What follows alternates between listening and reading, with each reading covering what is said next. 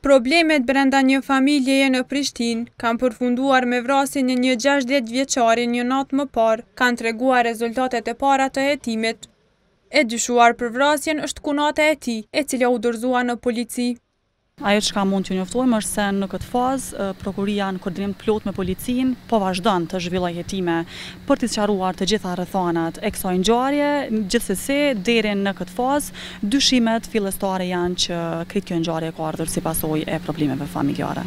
E dyshuara është ndaluar për dyzet e tetë orë, por në organin e akuzës theksuan se do t'i kërkohet gjykatës që ta caktojë masën e paraburgimit.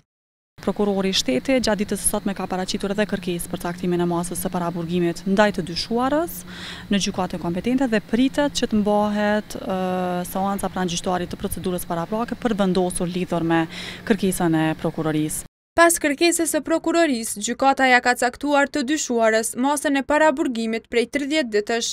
Të dhëna për rastin janë ofruar edhe në raportin 24 orësh të policisë. Në të është treguar se në vendin ku ka ndodhur vrasja janë gjetur 10 gëzhoja dhe 4 predha, si dhe janë konfiskuar edhe arma dhe municioni. Në cilësi të provave materiale është sekuestruar një pistoletë, me të cilën dyshohet se është kryer vrasja, një karikator me tre fishek, po ashtu gjatë kontrollit janë gjetur edhe njëzet e shtatë fishek, që janë sekuestruar në cilësi të provave materiale. Me vendim të prokurorit, i cili ka qenë prezent në vendin e ngjarjes, trupi i pajetë i viktimës është dërguar për obduksion në Institutin e Mjekësisë Ligjore.